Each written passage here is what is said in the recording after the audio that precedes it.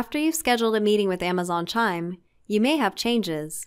Maybe you need to reschedule it or update some of the details like adding or removing attendees. Updates in Outlook can be completed in a few steps. Let's take a look.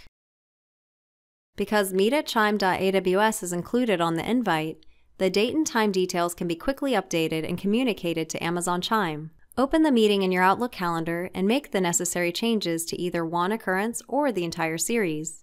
You can make adjustments to the meeting time or guest list.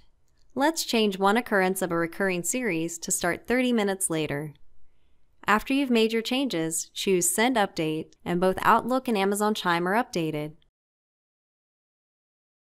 If you add or remove attendees from your invite, choose Send Update to all attendees so that Amazon Chime gets the update as well. You've updated your meeting with Amazon Chime.